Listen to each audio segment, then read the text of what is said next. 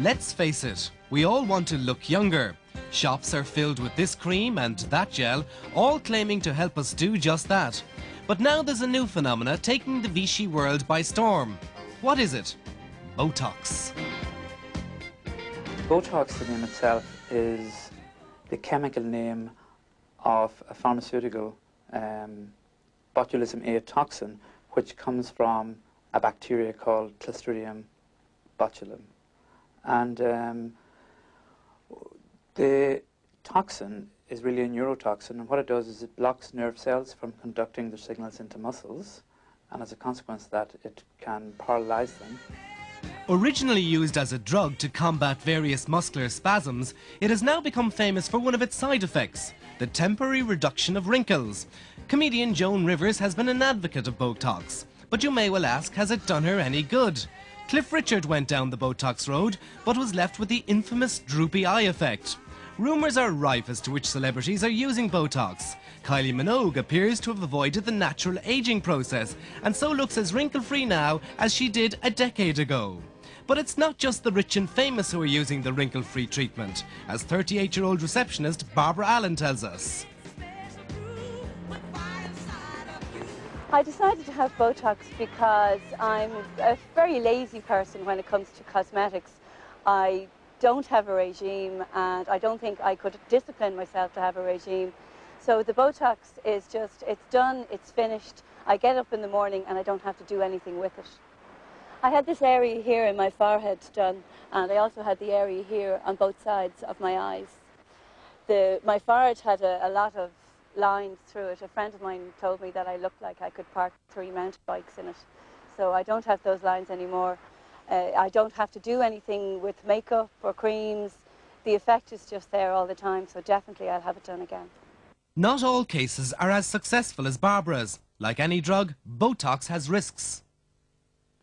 Most of the side effects that you get from Botox are directly reversible within um, probably a 10 to 15 day period.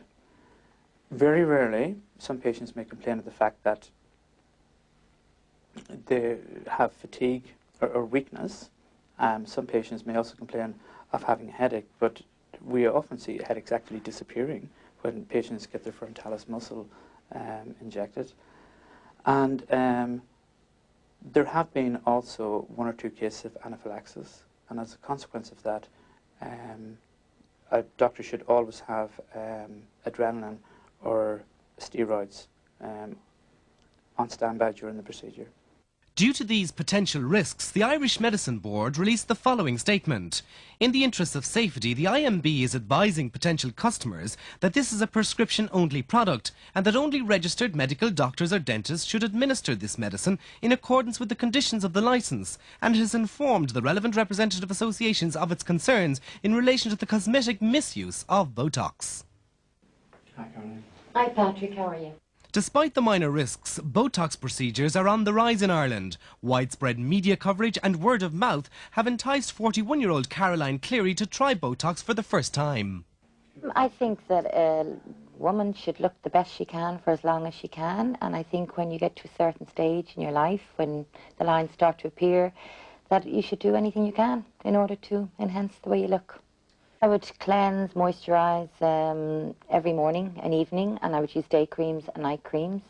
Um, I haven't found anything that I thought were fantastic, and so this is why I'm going to try the Botox.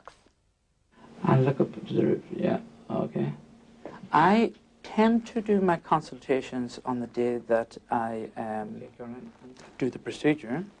During the consultation also, uh, we, we tend to sort of um, make the patients totally aware of um, what they're getting. I wouldn't tend to do a patient under the age of 30. Most patients tend to be between 35 and 45, slipping into 50s and the late 50s.